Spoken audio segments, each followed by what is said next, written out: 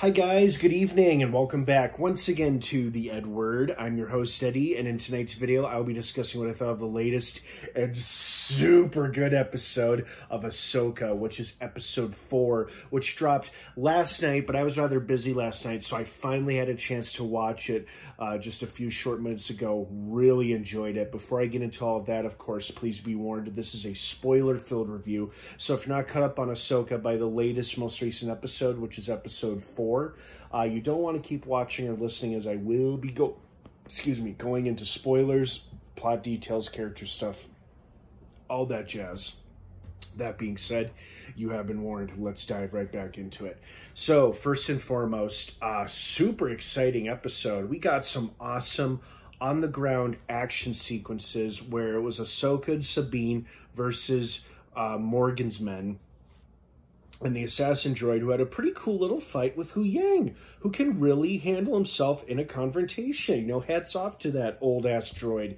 You know, he did a great job holding up against that assassin droid till Ahsoka and Sabine showed up. You know, it was a very entertaining sequence. You have two badass warriors going at it against a small army, basically, taking out all of Morgan's men and then running off to go uh, find the map and stop the two Siths or at least the two former Jedi who are now acting like Sith, because I'm, I'm still not sure how to quite label them.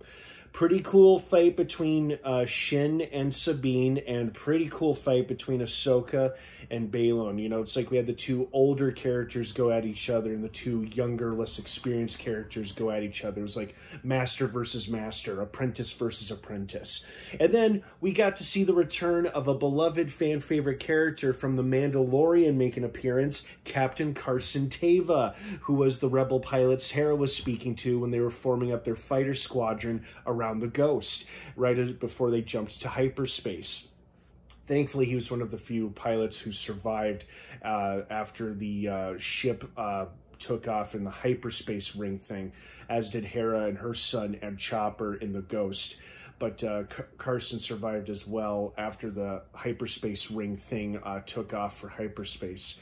And apparently Baylan destroyed the map so nobody can follow them or know exactly where they're going. And now Sabine is seemingly stuck aboard said ship with all the bad guys while Ahsoka was supposedly on the planet down below on one of the landing on one of the rocks. But when she wakes up she's in the world between worlds. And the world between worlds, for those of you who are unaware, is a, a state of existence that ex exists between time and space that was established in Star Wars Rebels. And it's kind of allows for a certain level of time travel to occur or moments of time open up where a character can insert themselves into that period of time or something like that. I may not be explaining it correctly. The point is, that is how she's able to see the long awaited reunion we were hoping to get in this show. And of course, it only lasted for a few seconds, but I'm sure the next episode will make up for it tremendously. A long awaited live action reunion between Anakin Skywalker and Ahsoka. Not Darth Vader, but Anakin Skywalker, as played by the one and only Hayden Christensen, is back, everybody. What a treat it was to see him play that character again, once again after all this time. Well, technically, we did see him do it recently, about a year ago, when they dropped the Obi-Wan Kenobi miniseries. So he was great in that too. But boy, it was exciting to see him and live action Ahsoka face to face with each other after all these years. So that was a real treat and a hoot. So a very exciting, very uh, action packed episode which really upped the stakes. Ahsoka ending up in the world between worlds somehow, despite getting kicked off that rocky cliff. Sabine getting stuck with all of our bad guys who have now set a course for Grand Admiral Thrawn, destroying the map in the process so that nobody can possibly know where they're going or follow them for that matter. So how the hell they're going to get back? Actually, they probably can get back to the Star Wars galaxy pretty easily.